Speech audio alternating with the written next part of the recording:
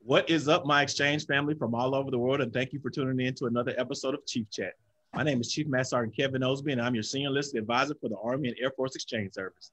Before we get started with our guest today, I would like to introduce my lovely co-host, Julie Mitchell. How you doing, Julie? Good morning. I'm doing great. Good to see you again. Awesome, awesome. You had, you had a good Veterans Day? I did. Did you? Yes, yes. Thank you, Chili's. Thank you, Chili's, for my, my, my meal. I appreciate that. No endorsement uh, implied. Just kidding. Uh, yeah, absolutely. and and I got a special co-host today. Uh, we got uh, my sister in arms out there in uh, Europe. Uh, she's the senior advisor for the exchange in Europe. Sergeant Major Julia Henry. How you doing, Sergeant Major? I'm good, doing real well there, Chief. Feeling warm and fuzzy. The sun was out earlier. You know, it decided to break the sky and, and shine through all the clouds that was out there. I'm looking up because I'm, I'm, I'm currently working from home. So I was looking to see, but hey, it's five o'clock and the sun is going down here, man. Absolutely. How was your Veterans Day? Veterans Day was good. I worked all day. I was on Ramstein handing out coins, uh, you know, the, our veterans coins. And it was greatly appreciated by our veterans and their families. Uh, took a lot of pictures. So it was a good thing. Awesome. Awesome. So I'm super excited about our guest today. Um, uh, because we get the opportunity to sit down with a real life American hero. And uh, although he wasn't born in this country, he embodies patriotism, and I'm proud to be his brother in arms. Uh, without further ado, Julie, please introduce today's guest. Chief, you're exactly right. This is a very special episode of Chief Chat. It's part of our In Recognition of series. In honor of Veterans Day, we are saluting our nation's heroes, like today's guests, our friends at the Navy Exchange, the Marine Corps Exchange, the Coast Guard Exchange, and the Defense Commissary Agency will be helping us host these episodes of the special series throughout November. Today's guest earned the Medal of Honor, our nation's highest award for valor, for his actions in Afghanistan on August 8th, 2012, while he was serving in the Army. He is a true hero. It is our distinct privilege to have him with us as our guest today. Please help us welcome Captain Florent Groberg. Yay! Thank you, Joey, Chief, and Sergeant Major. Super fired up to be a part of this. Uh, this show today. Looking forward to the questions and sharing some of my thoughts and hear some of yours as well. Thank you so much, sir. And for all of those who are watching, now is a good time to drop a note in the comments. Let us know where you're watching from. You can leave questions and comments for Captain Groberg, and we will try to get to them during the live feed. Also, start a watch party and enjoy this live broadcast with your friends. If you're not already following our page, you should. We have terrific guests coming to you throughout the rest of 2020. Awesome, awesome. So Captain Groberg, Groberg, man, I'm truly, truly, uh, it's an honor to have you with us today. Uh, I want to, on behalf of all the military exchanges and the commissary, we just want to appreciate you for your service and dedication to this great nation. And uh, thank you for taking time to speak with us today.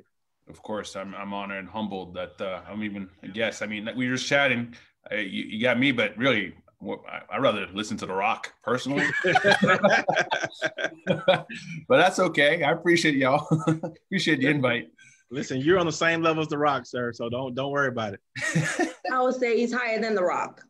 I met The Rock when he was in college. I was in high school. You know, uh, a good story there. But sir, we appreciate uh, you taking the time out, and I echo Chief uh, Osby's sentiment of you know of gratitude of you joining us today.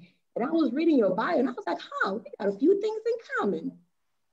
Migrated to the United States at 12 years old, me.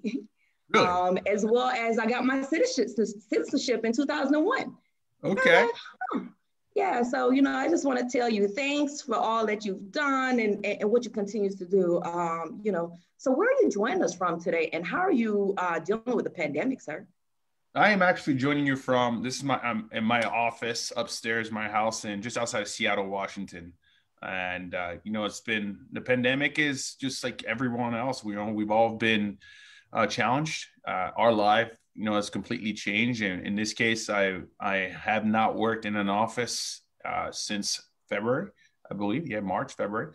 Uh, it's been uh, very different for me because one of the key things that I love is traveling and you know meeting with with people i mean face to face and you know conducting my business in in that sense and so you know going through this new world of virtual where everything is done through virtual has been um, challenging at times, but it's also what we what I learned in the military is that you got to be adaptable. You have to you know be able to evolve uh, and overcome. And so I've taken there's been some positives, a lot of positives too. It's that you you can actually you know meet with more people uh, at a rapid rate. Um, that you can we we're doing more work than we ever expected. There's no more that excuse. I'm on an airplane, can't can't get to this. Thing. No, absolutely. Uh, Dang, but, I can't use that no more, man. You know, but it's been it's been it's been interesting to you know deal with customers and and really close deals down. Um, but um, I'll, I'll, say this: in everything that I've done in my life, I try to find a positive in a negative situation. Uh, this has been a very you know difficult time for all of us, uh, and for our nation, uh, our country, our world, our partners. It's globally, but I, it's also giving me an opportunity to spend a lot of time with my wife. Um, I you know I was usually on the road every week uh, a lot of weekends gone for different events or different commitments or traveling overseas. Uh, and this is the longest I spent in a row with my wife, which validates my our marriage because I love her, uh, uh, you know, more today than I did yesterday, and I can't look forward to loving her more tomorrow. Uh, and it really has solidified the fact that she's my best friend in the world, and we made the best decision together to, you know, uh, commit to each other for life. That's really sweet. That's oh, sweet. And you had you had shared that your anniversary is coming up too. So that's the congratulations on you believe you said two years together. That's absolutely fantastic. Yeah, I'm super fired up. I got her her gift. It's right here next to Ooh, my left. Can we see? Can we see? Do we get a? No, we probably probably can't see. right? It'd probably ruin it for. Her. It's, it's wrapped, wrapped up. Yeah, oh, it's, it's, is uh, it a big box or a small box? I like small boxes. Yeah, it wouldn't be a surprise anymore, Julie. It, well, I know. I really want to know. I just I love it. It's right here. I can't push through this because she'll know what it's from. But it's, okay, I got you. It's in here. Oh, what's this? This is cool. It's an yeah. unboxing. This is so exciting. So it's in here. I can't wait. She'll get that. She'll get down Saturday. If she's watching this for some odd reason, uh, she'll know what it is. well, that's hey, sir. That's my wishful thinking that, that this is like the, the mainstream. This uh show is on mainstream right now, so that's me. I'm in trouble. if, she, if she catches wind, let us know. Then we'll know we've really. I will. We've made it. We know we've made it if she if she saw it beforehand. Sir, we would like to kind of start off talking about about what led you to join the army. I know you're from France, and as Sergeant Major Henry said, you came to the United States at age 12. So, what led you to decide to serve? Well, it's uh, first of all, Sergeant Major. That's uh, I'm fired up to hear about your story as well. It's, you, like you said, things in common. I mean, these are two pretty big things to have in common. Uh, and I think a lot of what I'm talking about uh, is going to be different, but also similar to you. And you, you might, you know, you'll be able to relate. But see, my the reason why I joined the army, it's because, you know, since an early age, I moved to the U.S. and right away something happened, traumatic happened in my family. Uh, so I'm adopted, and and half my family is you know Algerian, so North African, and the other half is you know, from Gary, Indiana, in essence, right? And my dad. And so my uh, funny joke is my dad's 6'2", blonde, green eyes, Swedish. So when I used to, you know, introduce him to people at school or when he'd pick me up from practice, people would be like, who's that? And that's my dad. He looked at me saying like, really? right. okay. There's the whole story there. They're like Maury Povich. They're, the first thing was like Maury Povich. like all right. So and and honestly it was interesting because i never challenged anyone so i can only imagine the thoughts behind because i didn't i wasn't at a young age it was hard it was hard to you know explain to folks when you're that you're adopted. Um, you know today it's easy to talk about it right? But when you're 14 15 years old for some odd reason i was not as comfortable with it. But when i was 12 when we moved here to the us and something traumatic happened and my uncle was killed by uh, a terrorist organization called the gia uh, they came into Algeria in the late 1980s, early 1990s, tried to take over the country, uh, bring radical Islam into it. And my uncle actually was a preacher of the Muslim faith. He was an imam. And when he saw this, this group of uh, you know individuals that were perverting his religion, he took arms, took up arms, and he joined the army, special forces. Actually, was trained in the U.S. for a little bit with some of our special operators, and he fought against them for you know six, seven years. And then on in, in 1996, he was uh, during a ceasefire to observe Ramadan. Uh, they were ambushed and he was shot and he was killed. But the, the, the, really the more tragic part about it is what they did with his body. Uh, they dismembered him and put him in a box and sent him to my grandfather. And I say I always tell this specific part because even though it's hard to hear and it's just you know so uh, terrible, uh, it's an important piece because it's all about terrorism. And what they wanted to do was send they sent a box to my grandfather because my grandfather is pretty well known in Algeria. He was a prisoner of war in the French Indochine, uh, French Vietnam, uh, and then he was one of the catalysts for the Algerian independence against France. Uh, and so, and he's a doctor, and you know owns the town, well well respected. And so to kill his son in such a gruesome way and to send the body parts, that was a message, right? To like, we do not care about anyone here if you don't follow us. This is what we're going to do this to everyone. And instead of um, of bringing fear, it, it, sort of created this this uh, this uh, response from the local populace and a lot of, uh, other people who really took up arms, and they kicked GIA out without anyone else. By the way, I'd like to put that out, right? No U.S., no France, no one else they kicked them out by themselves. And so, you know, I in my heart, I feel like his death wasn't, you know, for nothing. Uh, and and you know, there are many other outcomes and reasons why they kicked the GIA out. But you know, I try to consolidate myself with with the fact that you know he he had this you know powerful, you became this powerful martyr in essence for for that country but that shocked my system and that brought an understanding of evil that i was i think too young to truly really i should have never been able to grasp. And i didn't understand terrorism the word terrorism at that moment. I but i didn't understand the word pain.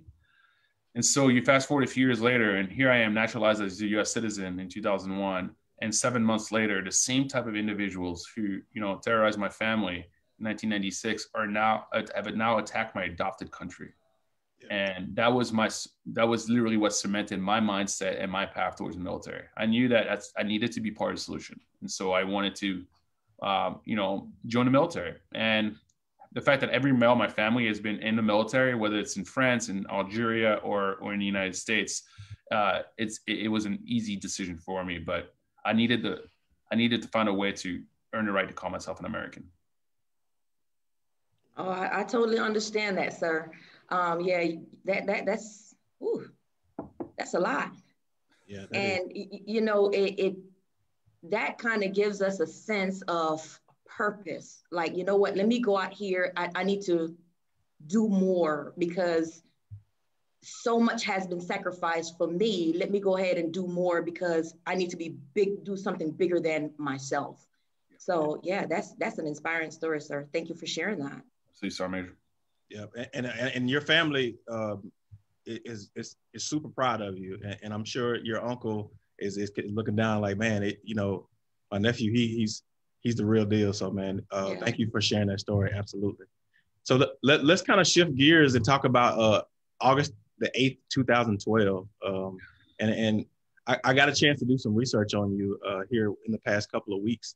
Uh, and uh, you were leading a security detail for a high-ranking official in Afghanistan, and you headed to a re- weekly meeting. This is pretty much your normal battle, rhythm while you were there, um, but you noticed something out of the ordinary, uh, and you end up tackling a suicide bomber. That's, I mean, I get chills even just read just just just, just saying that. So, can you tell us uh, about that day? Yeah, you know, it's it's it's super interesting because I didn't talk about August 8 almost ever prior to the medal. Um, and I think that's um, it's very similar to a lot of my peers or in the, you know and, and, service members who have gone through some you know really difficult times in in in deployments or outside of deployments. And but that day was was you know, the, the, worst day of my life, right? And I mean, it's, it's hands down without a doubt. Um, we were going to that security meeting, as you mentioned. We had done this, we had been on this patrol multiple times. My first tour in Afghanistan, 09, 2010, I actually owned up a part of that area of operations. So this meeting happened every Wednesday at 10 a.m. Uh, it, it, for years. Yeah. And we knew that obviously that that was a problem, right? Because it's the same meeting. So at the same time, so the enemy could plan any attack, right? So we didn't want to create a pattern in terms of, uh, of the bringing the boss to to you know sit into that meeting. So we'd go maybe two weeks in a row and now go for four, right? Things like that. But he had to go. It's you know Kunar is too important in Eastern Afghanistan, uh, and we needed to build those relationships with the governor and some of his local officials as well as some of his, the military leaders in, in that area of operation. So on that day, we brought two brigade commanders, two battalion commanders, an Afghan general, two GS-15 State Department individuals, two Bragers, uh, in my unit of six individuals. I'll be honest with you, uh, there was a failure in there. Uh, the failure was that I requested 15 to 20 escort when we arrived at uh, Combat Outpost uh, FIAS to, to escort us to the meeting because it was from the military base where we landed our, our, our aircraft to the actual meeting. It was an 1100 meter movement on foot. And every single time we stepped outside the wire, we always had a US element to escort us because my unit wasn't designed to fight the fight against an enemy attack. We're like Secret Service. That's what we used to call ourselves, kind of you know, as a joke. If something happens, we all we put we have a diamond where we put all the principals, so the high-ranking officials in the diamond, and then we have a guy up front, right, left, rear. If something happens, someone shoots at us, IED, whatever it is, or any type of threat, all four of us sort of take the principal or the principals down on the ground. We cover them with our bodies and then we escort them out of the danger zone. The other element around us, they fight the fight, they eliminate the threat. So there are opportunities to exfil. So when I landed, I didn't have that element. element. Um, and I had made a request very clear the night prior because I never had such a heavy group of senior leaders, military leaders, and civilian leaders um, under my watch and there was no one there. And so the, the, the individual prior said, "Hey, you know, the major that I talked to on the phone the night prior, um, I don't know what he was thinking, but he he uh, he told me we'll walk the route 15 minutes prior and clear it. So his idea was like, hey, let me clear the route before they get there, and and then so that they don't have to worry about it. The problem is he cleared it, but he didn't secure it. so yeah hello, right? So you can clear the route, but if you leave, it's no longer cleared. You know, it's one on one. And unfortunately, they left. They went to the compound. And so when we walked the route about 700 meters into it, this is when we were targeted by um, the bombers. And what they did it was is they created a diversion, a standard, right? They came at us with motorcycles, so we are all fixated towards motorcycles, right? Odd. Why is this motorcycle, you know, coming so fast at us? Uh, in the meantime, an individual that was in a structure to our left walked out here's what I did though that day that um, I think, you know, I, I want to give props to the Afghan National Army folks that were with us, right? I'll be honest with you, I never really trusted them. Um, but I fought with some with some of them who are brilliant and they're warriors. And on that day, those guys, you know, were on point. So because I didn't have that U.S. element, I need I I, I try I went around that base trying to find anyone that was yeah. U.S. Army military that could come and support us so but I couldn't really find anyone. I found two people, and one of them was a cook, and he wasn't he wasn't a U.S. Army cook. So I think I broke I broke a couple of rules there. But I saw a bunch of Afghan National Army guys smoking cigarettes at the gate. So I sent my translator to ask them to join us, and, and I think there's about ten of them. And I put them up front. I told them, you know, spread out. And what I wanted to accomplish in that moment, I wanted to appear big right? So if you know if we are targeted for some odd reason, that at least they see that it's not just that heavy element and six people. It's like you know we just added ten people, so maybe deter the enemy from you know um, going after us. It's, it didn't deter them, but what it did is it created us. It created a pocket for us because they were up there. When the motorcycles came, the point man he was on his game. Like immediately raised his rifle, started screaming and Dari, forced the bike to actually fall, the guys on the bike to fall, and then he chased them. wow. Right. I don't know. I, I, always wonder like what happened there. Like, because I know that guy, some someone some people have said, Oh, maybe he was in on it. I'm like, dude, he was not in on it. This guy was like pissed. Like he was chasing him, like he, went after him. But what that did is I do believe that also saved a lot of us because it prevented the bike from getting closer. God knows what they had on that bike. Mm-hmm. Um, and then it also give me gave me time to identify the threat to my left. And when I saw the, individual, I knew obviously he was a threat. Couldn't see a weapon, so I couldn't engage with my rifle. So it's just kind of I remember thinking like, well, I gotta get you know, I don't like him, so let me go figure out what's going on. So when he started coming towards us, I sprinted towards him, um, and I hit him my rifle I felt something in his chest. that moment, I realized, oh my goodness, this is not good. So I let go of my rifle that was uh, slung to my kit, and I grabbed him. And that's when I knew he had a vest. And the only thing I could think of was I got to get him away from the boss as quickly as possible, as far away as possible. Uh, so I pushed him and threw him. And you know, at Sergeant Mahoney, my RTO followed me uh, into this. He's probably thinking like, "Oh, here goes Lieutenant, go and do something crazy again." Yeah. Um, and he followed me right into it. And then as I threw him, he tried to like, you know, make sure that he landed on the ground uh, faster. And so the guy landed chest first and detonated.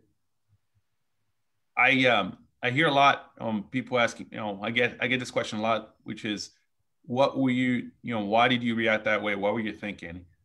And I think this is the beauty of the military, is that I went into the military with a lot of hate and anger, right? Honestly, I did. I, you know, for the people that, that terrorized my family and, and, and my country and, and, and some of my friends I've lost overseas over the years.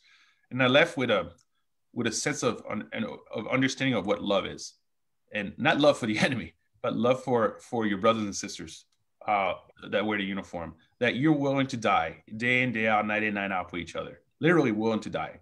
And so when I had to make a decision to go towards a danger, a threat, and specifically when I realized he was a suicide bomber, my body didn't react in shock. I didn't become, you know, I wasn't paralyzed by fear. Instead, I was driven by love. And by that, I was driven by the love of my brothers and sisters, by my team, and my responsibility that I needed to protect them. And I didn't think about death. I thought about doing my job. And whatever the outcome was at the end, that's the outcome. That's what I signed up for. That is that is the discipline in our in our job. And it allowed me to be a professional. It allowed Mahoney to be a professional, Secor, Ochart, you know, Balderrama, everybody else on my team to be professionals. Um, but even when you're at your best, it's war. And on that day, we still lost Command Sergeant Major Griffin, Major Gray, Major Kennedy, and Ragaei. So that was the worst day of my life. Yeah, and it's just it's just crazy how um because I think about when I when I deployed and, and and that really changed my life specifically because you see stuff that you can't unsee or you you're part of something that that really affects you as a person and um i thought about i was like you know what it we're back in garrison and we may get into some drama over some real frivolous stuff or whatever the case may be but just knowing that when the stuff hits the fan like your brothers and sisters got your back and yeah. so that's just you know you it's, it's just hard to even talk or, or, or explain that. Yep, I agree.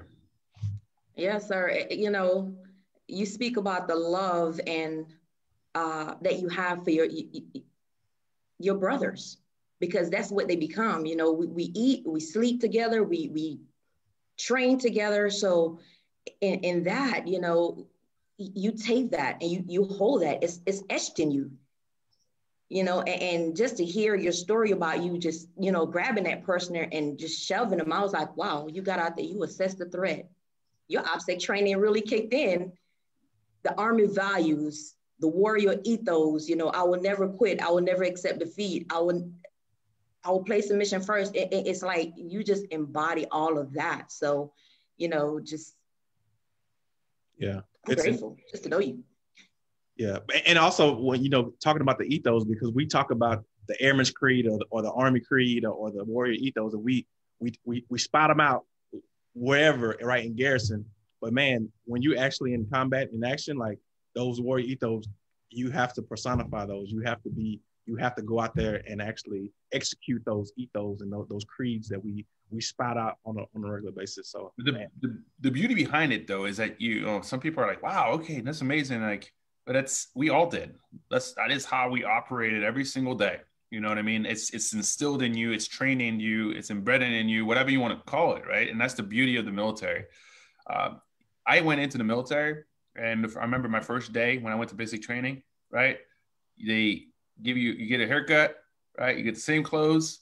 Uh, your bed looks like the, the his bed or her bed, right? It's everything's the same because they teach you right away that you need to take this whole thing, this thing called I, your how you being an individual, and you put that to the side because now it's about the team, right? You need to learn that everything you're doing here is it's to benefit success in the mission, but you can only do it together, you know, by uh, by collaborating together, by working together, by trusting each other, and, and by being, you know, having the integrity when no one's watching that you're doing the right thing, right? And these are things that I learned basic training OCS, you know, officer leadership course, really learned that in Ranger School uh, about the whole integrity. you know, yeah. no one's watching.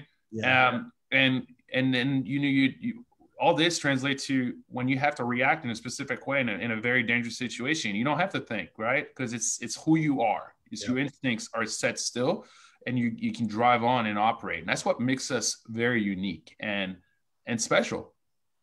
Yeah.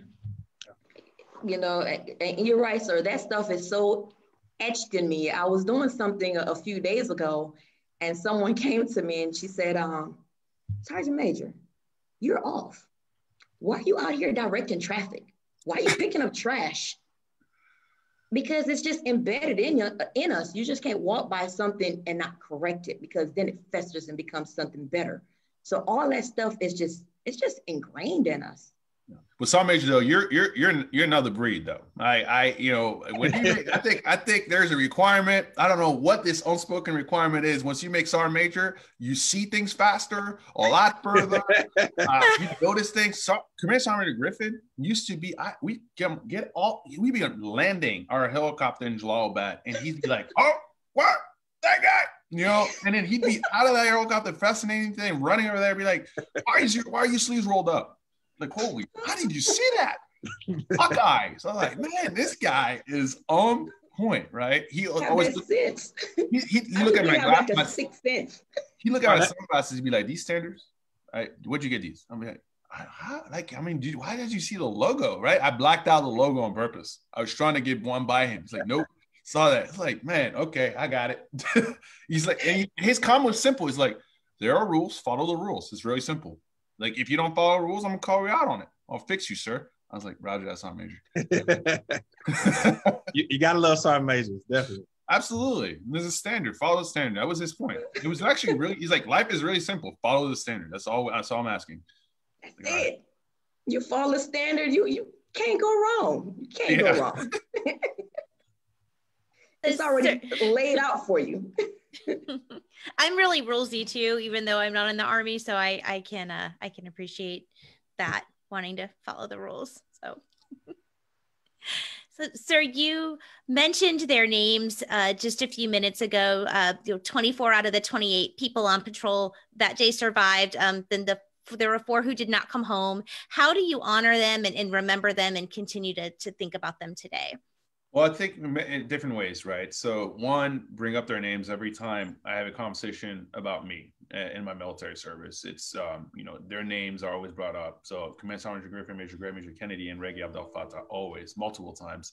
I think that's one very important way to honor those who don't come home because they're in my story, my life story, they're my heroes, right? With my uncle. And also the all the friends I've lost, Sergeant, uh, Sergeant Novacek, Sergeant King, Sergeant Kennedy, you know, uh, uh, people, Cardenius, all those folks that, you know, were Finnegan, geez, you know, that were killed, uh, that you had relationship with, even though like Finnegan and, and, and Kennedy and Cardenius, I didn't have a close relationship with them, but they were iconic in, in you know, within our unit, in our group. Like they meant so much to us.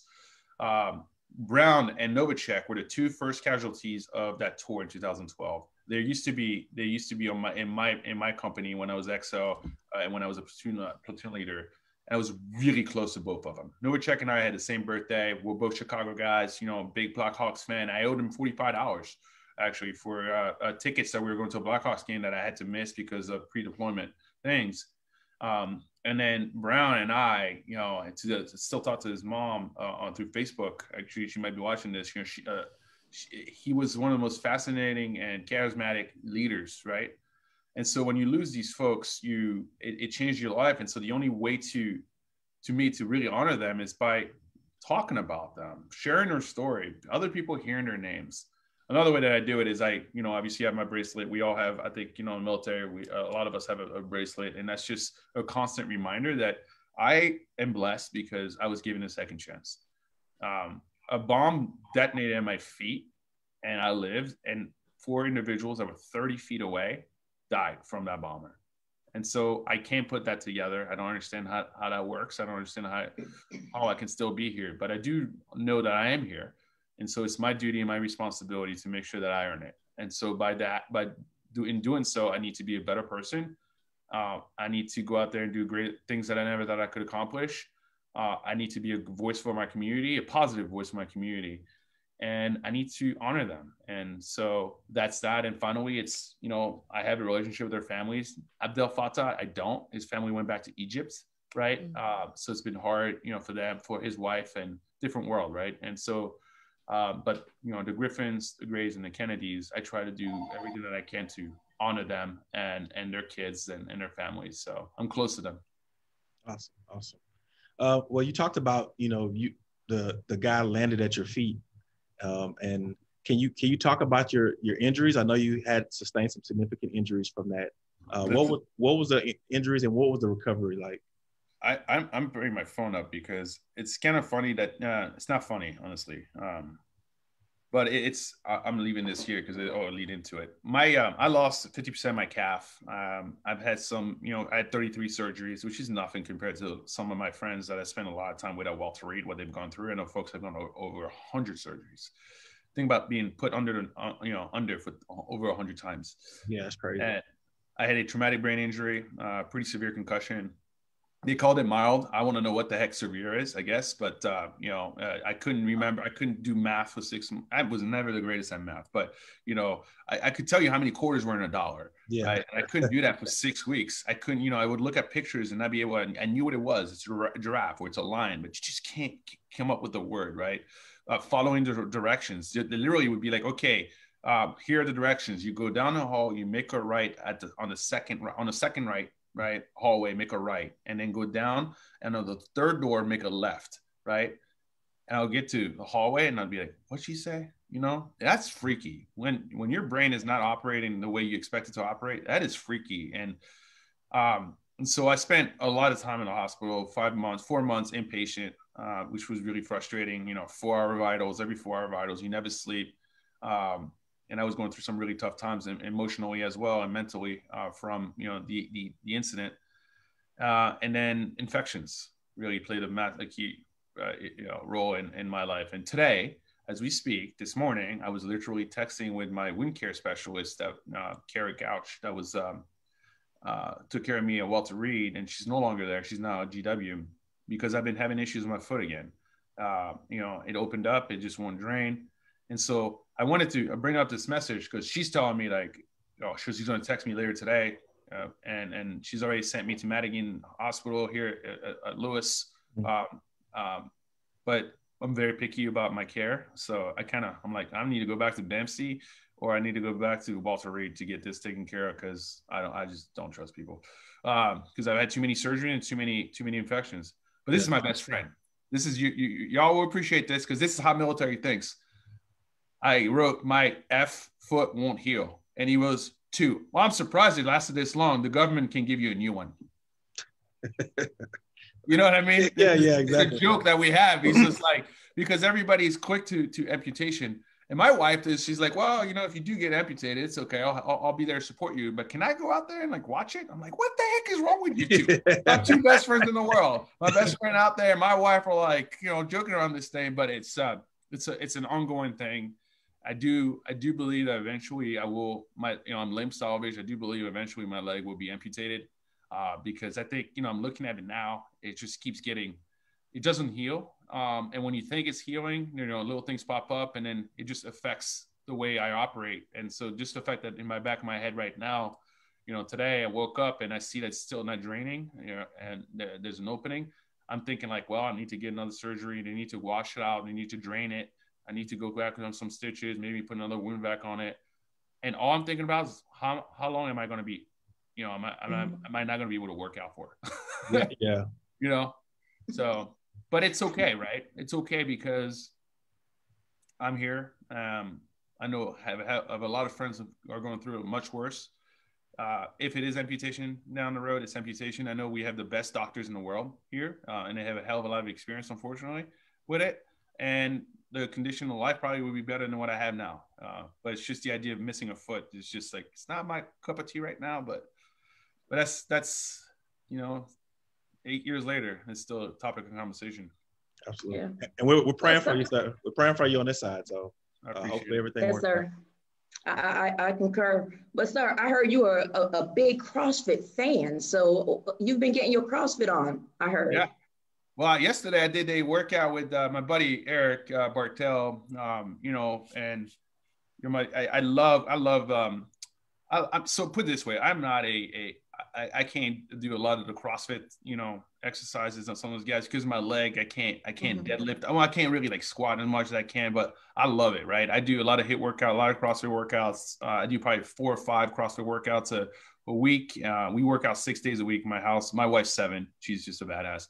Um, and then, you know, we have the Peloton, different things. So yesterday we did a, a Veterans Day workout all night on an Instagram live and it was pretty cool, right? Because you do, we did 11 rounds of, of pull-ups, push-ups, air squats, and sit-ups. And we just wanted to keep it military style, easy, right? Um, and then of course at the end, it's kind of like, all right, this, you know, you're doing the workout and you close it out and you're like, all right, this is do like 15 straight pull-ups, right? And you just kind of go on it. You know, you're tired and you're smoked and you do it and we're joking around like one for the army, one for the Corps for the Marine Corps birthday. Yeah, yeah. You know, one for America. But um, it's very important to me. It's uh, it's sanity. It keeps me sane uh, to stay physically fit.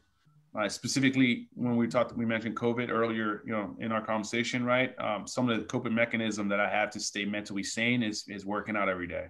Um, it's also an addiction, I, and, and, and that's, that's a bad thing, right? Because if I don't get a workout, then I feel like my day is just is ruined. Um, and so right now I'm thinking about my workout this afternoon.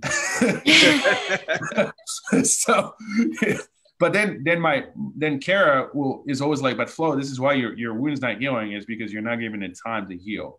And she's got a point, but I don't know. It's I'm my own worst enemy in essence. Sir, sometimes we have to just sit back. I know it was hard for me too. I had surgery on my hand, and it was in January and uh, I still can't do a push up. So yesterday I was handing out coins and people want to do a push up. So I was on one hand. I was like, I can't really go down. I don't want to embarrass myself because they're taking pictures. So I still want to get up there. I want to do a leg tuck. I want to do a push up. I want to do a burpee. And it's hard. But we're a worst enemy sometimes because we just want to do so much, but we have limitations, sir. Yeah. that time and heal flow. Look. So, Major, I'll tell you one thing though, and as this is true, and this is sad, but it's true. Um, you know, they say as you get older, right, your met- metabolism doesn't it doesn't operate the same way, and you start getting pounds here and there. And I'm like, man, I never get there. I was, uh, listen, after I received the medal, uh, we went on this tour, and I didn't work out. We, you know, we stayed up really late. And we had, you know, a lot of food, and we had drinks and stuff, and I got pudgy. And I've seen, I've seen pictures, and I was like, I mean, seriously, pictures I told my wife, I was like, "Is that me?" She's like, "Oh yeah, that's you."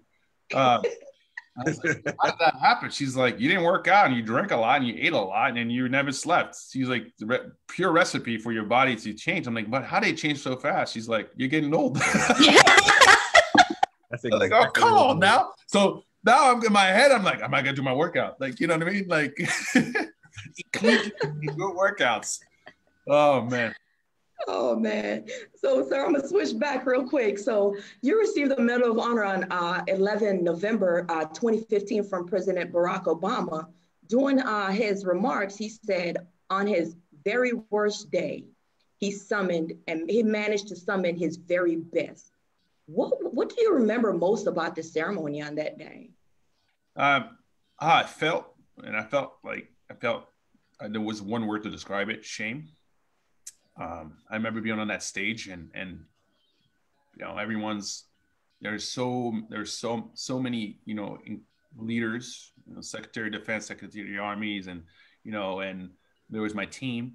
Uh, there was the boss now, who's the J three at the Pentagon, uh, Lieutenant General Mingus.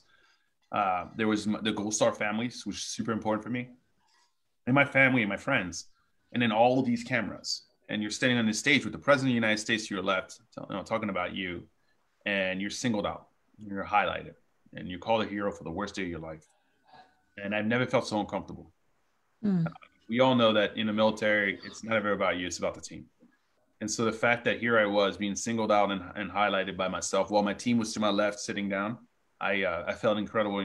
I felt like a fraud. I've imposter syndrome. You feel like you know uh, I I fooled the world and I don't know what is wrong with these people. And, and so you feel shame. And then I felt mostly shame because we're talking about me when four of my friends are dead on, you know, on a mission that I led. And, and three of those families are in front of me. And so that was, that was how I felt. It was incredibly uncomfortable. But President Obama was instrumental in, in, in on that day in, in terms of getting me back in, into the right mindset too. Right um, he told me, you know, in, in, in private that, hey, just because you receive this medal doesn't mean that your your mission's over. Like this is just you're a courier of it, um, and I use the word courier now always. And you have a heck of you have a platform to do incredible amount of good. Uh, and I I know you. I trust in you that you will be an outstanding representative of our nation and of this medal and what it represents. And um, that's something that I am to this day, I am super grateful for him because he didn't have to say any of these things, right? He didn't have to spend that time that we spent. Um, and I've had opportunities to meet him prior. And it, get, it helped me also with the fact that the Gold Star families were, you know, were there. They were, we took a lot of pictures and they were so happy for me. And it gave me a, a better understanding at the end of that day. It took shame and I removed it from, and then I, I, I put a purpose behind it and a mission and that is to go out there and you know be a positive force for my community our veteran community for our nation um, and to never be part of the negativity that's out there. So yeah. I, I did watch the ceremony uh, sir and you know just just seeing you on stage and when you say shame you know i was like wow that that's that's that's deep. Because i would never think that you would have said shame you know, I saw the tears rolling down your face. I mean, I'm a sergeant major, but sometimes I get a little bit, you know, them little tear jerkers get me. So one little tear almost fell out my eye. I was like, get back in there. Yeah, I know. I yeah, yeah. You was the same thing. I was like, come on, what are you doing? it didn't work. It didn't work, sir. No, but um, you know, I, I saw that and and the word shame that you used, I was like, wow, that's that's kind of deep. Why did you use that word? Because that's how I felt honestly it's um it's i felt like we should never be singled out. And i i felt that you know mahoney you know he received a silver star you know followed me right into the gates of hell. Uh ochart followed exactly to the td my instructions prior and there's a lot more to the story right like i, t- I, I switched position in the diamond on that day because I felt really uncomfortable. You know, you just get your spidey senses senses that come up, and you just know something's wrong. I've been in too many firefights in my life to not realize something was wrong. Something was bad. Goes bad was going to happen. So did my uh, sergeant first class Brink, Brian Brink. He knew it too. It, I just we just knew something bad was going to happen. So we try to mitigate all the the threats right away. So we changed our positioning. Um, I was usually in the rear of the diamond uh, because I wanted responsibility to take down the bosses in case something happened. And I went to the uh, to the Spirit of Diamond because I wanted better, you know, visibility, which is the reason why I was the first one to the bomber because I was closest to him. Um, and I told Ochart, who had just joined us, you know, PFC, and I said to him, um, "Listen, no matter what happens, if you see me move one direction, you grab the boss and you move him the opposite direction. Don't ask questions. Don't care what he says. Just do it." And he did just that. Think about that. Like as I moved towards the bomber, he grabbed the boss, started moving to the right, and the boss only had a traumatic, you know, TBI, a concussion off, off that. The other brigade commander, unfortunately, um, and he's still in, um, and I think that was Lieutenant General Walrath. Uh, he, you know, he spent four months with me at the hospital, you know, with similar injuries to his legs. Uh, and it's because we didn't have enough people to like bring, you know, to take care of all the principals, right? And and to me, everyone played a specific role. Uh, Brink cordon, he cordoned the whole area. He started treating my medic, saved my life, put a tourniquet on my leg, and, and you know triage multiple other people. So everyone plays such an important role. And here I was by myself, being highlighted, and everybody's calling me like, "You save all these people," and so you feel shame, right? You just kind of like, "That's not true. That's not me. Like I didn't, I didn't do anything more special." And I don't want it to feel like I'm more special to because I'd rather trade all this and not be here and have my friends there Absolutely. So, you, Captain, you have chosen a life of service. What do you want today's men and women in uniform to know about choosing a, a life like you have?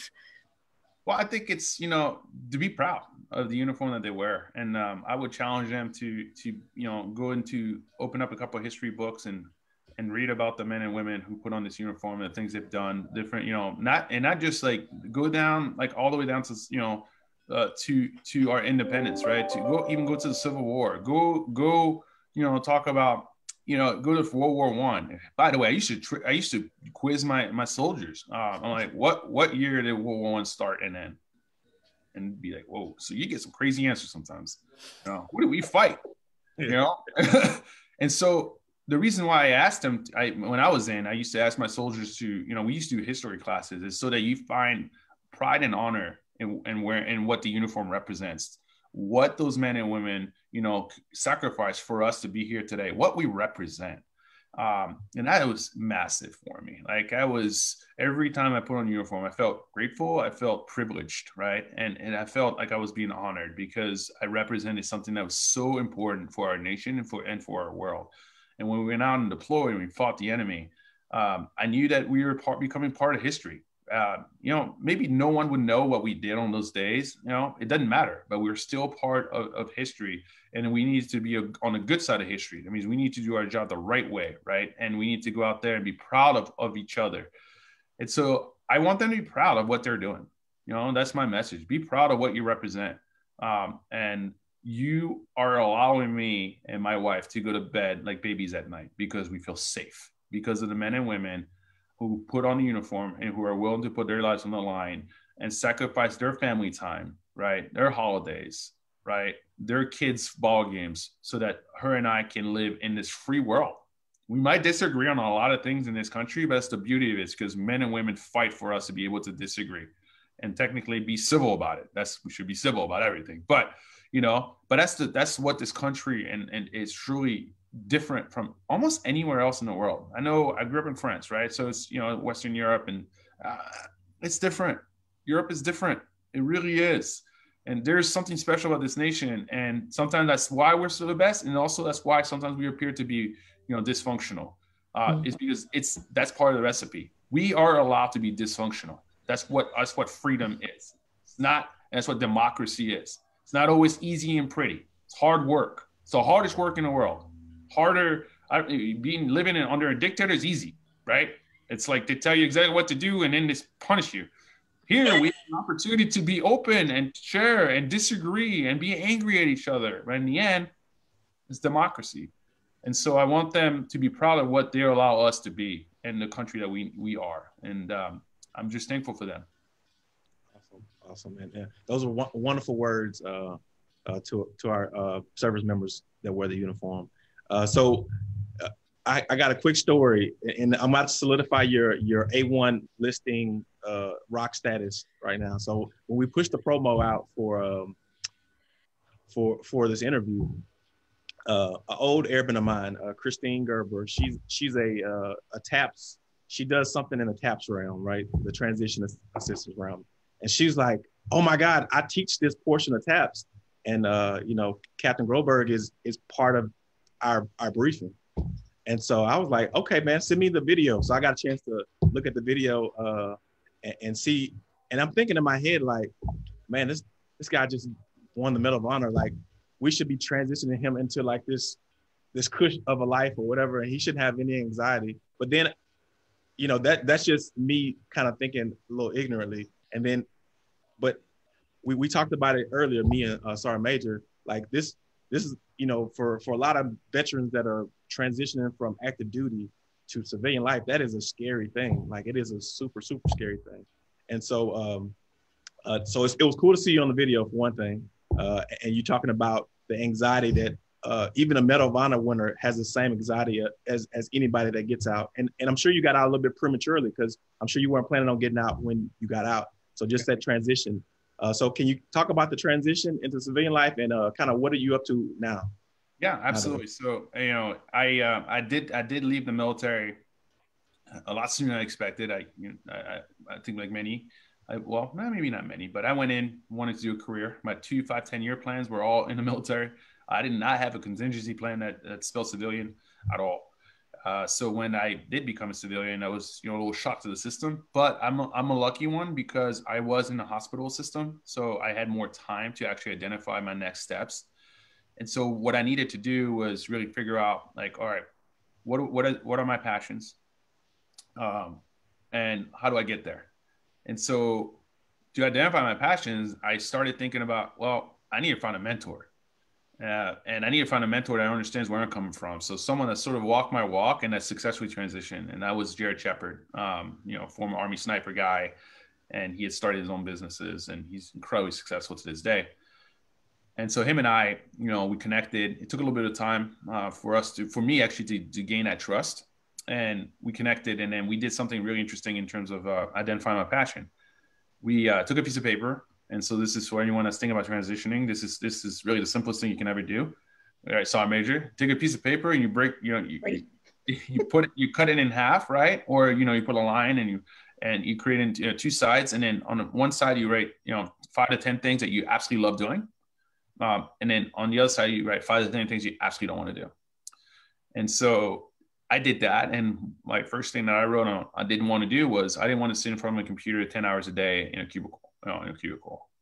Um, so, you know, and that was really simple. And, you know, on the other side, I put, I want to travel. I want to be a, a mission oriented. I want to be, you know, connect with people. I still want to play a role and, you know, serving my country if I can, if possible. And so I had all these listings here on the, on the good side and on the bad side. I only had a couple where I, I just don't want to do that. Don't want to do that. Those couple on the bad side eliminated like 80% of jobs. you know what I mean? Yeah. So it, it, was great because it gave me sort of a better a pathway towards, all right, let me go focus on this, this, and this. And in the end, I was able to, uh, you know, I would transition to one of the agencies, three letter agencies. Uh, I went and worked in, clandest- in the clandestine world. Um, I was traveling, meeting with people, mission centric, still serving my nation. All the things I put on my left side, I found those, right? But it wasn't an income easy. I had to network, build a network after that through my mentor, uh, and go through, you know, educate myself. And then the last piece I did is, um, and I recommend this to anyone, right? Whether or not you're incredibly successful or not, I, I, I always knew I needed to further my education. So I took, um, I took uh, I, the GI Bill that I had, and I went in to get my master's in the meantime. So while still working and while still recovering. Um, this is why military we multitask. We're good at doing this stuff. We're organized and we're disciplined, and so we can do multiple things. And I and I went for it. This is all prior to medal, so I was out when I received the medal. Right, I was mm-hmm. a civilian, um, and then when I received the medal, unfortunately, what happened is that uh, you can't be a you know you can't be in a clandestine world and, and supplies and have a Wikipedia page. That's what I received. That's that's the comment I got from uh, uh, uh General Stewart. Um, and so I, tra- I, had to transition again, and I had to go start through a whole process mm-hmm. again. It was frustrating. It was difficult. Um, actually, was really, really frustrating because I was really happy in my, my next career, and I had start again to go into corporate America. And I got lucky. I met a Marine, uh, Greg Call, who was running the veterans program for LinkedIn, and he, he, he had this idea of us working together, putting mm-hmm. a campaign to highlight, you know, veterans on his platform and all the different resources there are for, you know, to help service members transition successfully.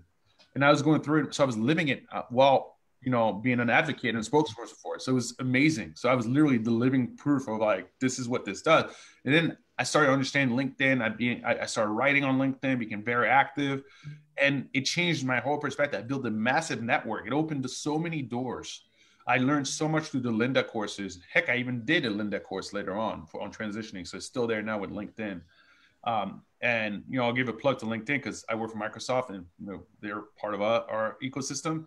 Uh, you, if when you transition, you get LinkedIn you know premium for free for a year, right? Uh, so that that so any individuals in the military transition, you get so Sergeant Major, you get free LinkedIn premium, and LinkedIn premium is great because it gives you a lot of those details that you need from people like, hey, this is where they're working, this is you know, all, all, you know city, and and this is how you connect with them and cool stuff. So I did all that. Um, but it's hard work. I always, I will tell, I will tell this to anyone that wants to transition. Find a mentor, build a network, take that piece of paper, break it up in half, and figure out things that you really truly want to focus on that you love, right? And don't be afraid to put yourself out there. This is my last piece of advice. I was a grunt. I was an infantryman. My first tour in Afghanistan, I remember going on Facebook uh, one time when we had three computers, and as an officer, I was always the last one on. So it was like one o'clock in the morning. I went on it and I saw a couple of my friends working for, you know, these cool companies. And I remember thinking, one of them was working for actually Facebook. And I remember thinking, I'll never be a war for Facebook. I was a criminal justice major in, in college, uh, and I'm a grunt now. I'm an infantryman. I don't bring anything to the table. That's that's that's BS. I've worked with LinkedIn. I've then went into the aerospace business, right? I with Boeing, amazing company, and now I'm with Microsoft, a tech company, and I'm I'm leading missions for their for an engineering team. My team consists of like technical mission architects, experts. I don't understand half the things they say to me, you know. but I'm still the, I'm still with them. I'm still leading. I'm still creating. And I'm still part, you know, that ecosystem. And it's challenging, but because of my experience in the military, being uncomfortable and comfortable, you know, being comfortable in very uncomfortable situations, uh, being at my best in some of the most high risk and austere type of environments, and not being scared for for a challenge, I have been successful in these industries, and I continue to be successful today. And lastly, I'm not afraid to fail because I know when I fail, then I'm going to learn a very important lesson. It's going to allow me to get back up, become stronger professionally, personally, and then go out there and drive on and accomplish a mission. Man, you are just dropping nuggets all over the place, man. That's some notes. Exactly. I'm, I'm trying to write stuff down and remember stuff. I just, tur- I, just I just tore my I just tore my stick in half and uh and then you go look at it. Why did I do that? Yeah, exactly. He didn't say tear it in half, he said fold it in half. Oh, oh my bad, my bad. Split it, fold it, yeah. Sir, I wanted to pause here for a moment to share some of the feedback you've been receiving from our viewers on our live feed. I'm going to be looking at my phone here, scrolling through some of the comments. Jasmine Dede says, imposter syndrome is real, but you represented your team. Hashtag purpose. Um, we do have people watching from all over the world. We have um, Blake Richardson is asking, he wants to know what is your motivator? What gets you up and going? I, I think my it's a great question. Um, you know, I I'm, I challenge myself to. So I here's the thing. Here's the truth about me. I uh, I'm I, I live with I have a lot of fear, right? Everything that I do, I feel like I don't belong or I'm gonna mess it up and screw it up, right? And I think that's fear, and I turn it into you know energy. And so uh, same thing when I was in combat, right? I mean, I think you know I had a lot of fear, but you don't show the fear, right? You uh, the fear keeps you alive in essence it, it actually kicks complacency out uh, because it makes you aware of the risk and the opportunities. And it tell it remind to me, it reminds me of like, oh, okay, you need to be at your best right now. So every single day, my motivator is to make sure that I earn my spot on the team, on this earth. Uh, you know, my wife, my family, right? I mean, heck, I, I, I married up. Let's be honest, right? I married up. So like, it's you know, I got, and I'm not, I'm not always like, I have my faults, I have my weaknesses, right? Uh, uh, I got my frustration, and she's always been by my side. You know, pick me up when when you know during the dark times. And so I need to be the best husband possible. I need to go out there and be the best leader and teammate in my organization. Right. That means I need to put a little bit extra time at night. You know, when she goes to sleep, I'll be writing emails at 10, 11 p.m. or trying to read things because I need to further my education, my own business, so that I can be the right effective leader when I wake up at 6 a.m. in the morning to go my first meeting. Um, and then I need to be. I, I think I'm always challenged myself with uh, you know, again, the imposter syndrome. I know people like like yeah, I get it. I appreciate those comments, but to me, it's okay to have that in my head because it challenges me to be a bet to go out there and make sure I earn it, uh, and that there's never going to be the word enough, right? You've done enough. I think there's always an opportunity for us to do a little bit more. And I do believe I'll be one of those individuals that's working until like he's 80, 85 years old, right? When everybody's like, I really can't stand Flo because he's he can't even walk straight and he's uh, or like he wants to be a part of this but that's because I was I was I was designed that way, um, and because you I, I want to be part of something greater than myself always, and I want to I want to support those around me. So I, I, that's my motivation. And lastly, people died for me, uh, and so they're no longer here, and I need to earn that. Absolutely, absolutely. So, um, so we had uh, Colonel uh, Jack Jacobs on uh, last week, and uh, he's, he's he's a funny guy, funny guy. And so he, he told us a story about um, he he was sitting on one of the Medal of Honor uh, dinners or, or some type of social event, and uh, General Doolittle comes over and, and, and puts his arm around him. He's he's a young he's a young guy. He's like, "You're a Medal of Honor, winner, don't screw this up," or or something something to that effect. Like it was, it was something. Have you got any? Because I'm sure there are a lively bunch. Uh, the the, the living uh, Medal of Honor winners. Uh, somebody came in and gave you like a, a knuckle sandwich or something, uh, as you as you kind of initiating you into this this fraternity. Yeah, I. I don't even know where to start with that one. yeah, you get you get a lot. Um, it's been really more. I mean, Doolittle. Do you imagine? Like that's yeah, yeah that is crazy. Wow. Uh, I, I got more of the they're incredibly respectful um, the older generation, and so they've they really embraced us and and they want us to be involved. That's their biggest thing. Um, you know, they're thinking legacy at this at this at a lot of their stages in their lives. I'm not. Um, and actually, to be honest with you, I never want to think legacy. Um, eh, when I'm when I when it's all said and done, I want I want to be remembered as a good husband, a good father, a good businessman, someone that took care of his community, and someone to serve his country honorably in a time of war. Right? And they want to add Medal of Honor in there, and they can add Medal of Honor, but that's just not who I am. Um, but when they think about legacy, those guys though, they fought in Vietnam, they fought in Korea, they fought in World War II. You know, I mean, think about that, right? Korea and Vietnam. They, especially the Vietnam guys, Korean Vietnam guys, right? They didn't get the love that we received. Uh, exactly. They struggled for a long time. So their legacy is I want to recognize the man that died by my side, the one that committed and their lives were affected uh, for the you know for decades after. No one really truly cared. So that's their legacy, right? They're they're representing their brothers, and so I'm 100% in to support them with that. I love the way they think. Um, I have so much to learn from them. I mean, they're they're brilliant, but they're also people. Uh, they say dumb things too. Uh, let's be honest, right? just because we have this, right? Often, you know, just because we have this medal, right? And this is the second one, by the way. My my first my the medal I received from President Obama uh, was uh, is back at my unit at Fort, uh, Fort Carson, where it belongs with the oh, unit. Same with Clint Romesha's, and we follow Sal Giunta's uh, path because uh, he he was the first one to do it.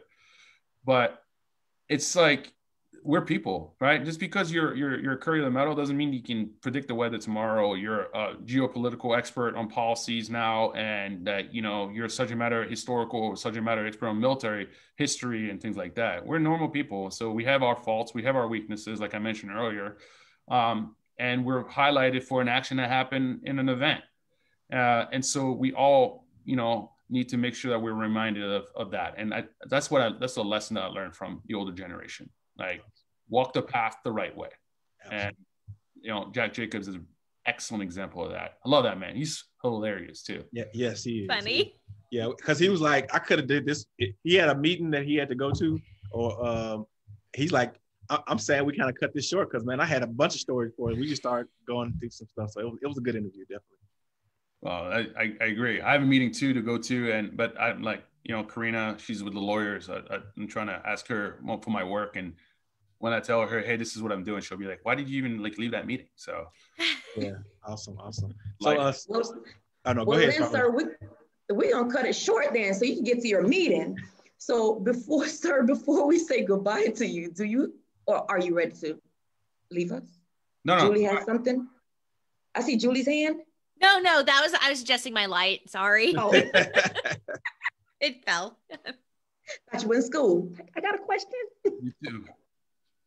No, sir. So before we say goodbye to you, do you have any parting words for our viewers? Yeah, I think uh, you know, I this is going to be different than maybe some others. I think we have an unbelievable opportunity today to be part of the healing process in our nation. I will say this to be to to everyone here. Here's the coolest thing I learned in the military. I was part of a group of individuals. I was part of a team that had white, black, Asian, Hispanic, Christian, Muslims, Jews, atheists, straight, gay, individuals that were willing to die for each other.